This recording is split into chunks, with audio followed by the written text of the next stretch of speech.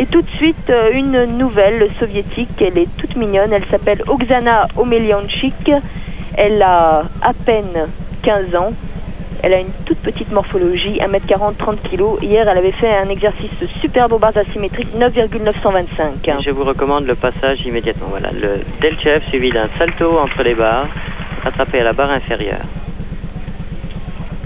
La bascule, la montée à l'équilibre, remarquez l'alignement du corps avec des changements de face, passage d'une barre à une autre, le passement filet, regardez, et une sortie en double vrille. Très bel euh, exercice de cette nouvelle soviétique Oksana Omelianchik, qui est d'ailleurs championne du RSS devant la nouvelle championne d'Europe, Chouchounova. Elle était d'ailleurs championne d'Europe euh, hier avant l'apparition du deuxième groupe et ensuite est donc euh, à rétrograder à la troisième place, si on peut dire. troisième place, c'est pas mal pour cette jeune fille quand même. hein.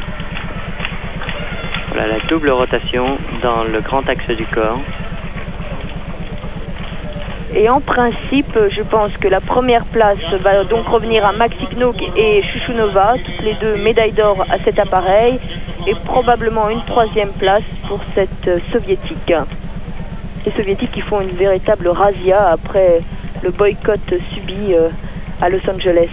C'est la revanche du grand frère soviétique après la, la non-confrontation avec les, les autres gymnastes. Alors que les Roumaines sont dans une impasse, un petit- enfin dans une passe difficile actuellement. Elles ne sont pas montées sur le podium euh, au concours général.